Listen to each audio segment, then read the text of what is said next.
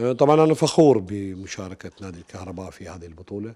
سعيد جدا إنه آه، نجحنا تنظيميا وفنيا وأداء لاعبين أداء رجولي. كنا أبطال المباراة كنا متسيدين على المباراة.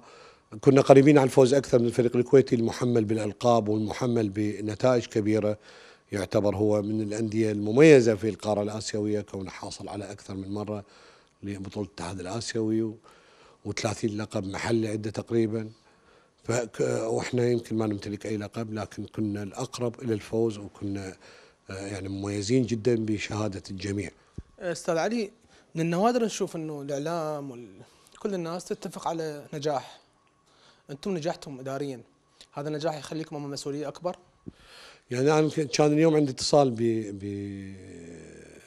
بمدرب الفريق المدرب يقول يقول يعني نجاحنا في المباراة اللي قد قدمناها أمام الكويت يجعلنا مسؤولية أكبر انه نقدم مباريات أكبر. إنه نطمح للفوز والظفر بكأس الاتحاد الآسيوي. هاي الأشياء يعني هذا جبرون اللاعبين نفكر بهاي نتيجة المستوى الرائع اللي قدموه أمام الكويت الكويتي. أستاذ علي بداية خلينا نتحدث عن قانون الرياض الموحد اللي مزمع انطلاقه قريبا أو قراره. أنتم كانديه آه، شلون تفسرون هذا القرار أو هذا القانون؟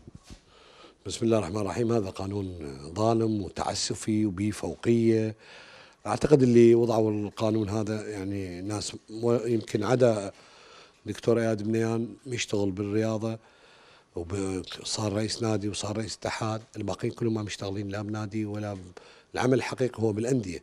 أنت شلون تسوي قانون وانت أساسا ما مشتغل لك ساعتين بنادي.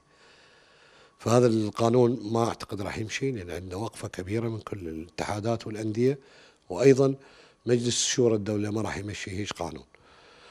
موقفكم كأندية؟ أكيد عندنا موقف كبير والأيام القادمة حبلى بالمفاجآت. لكن هي تبقى في إطار القانونية وال... أعتقد هو مجلس شورى الدولة ما راح يمشي هيش قانون.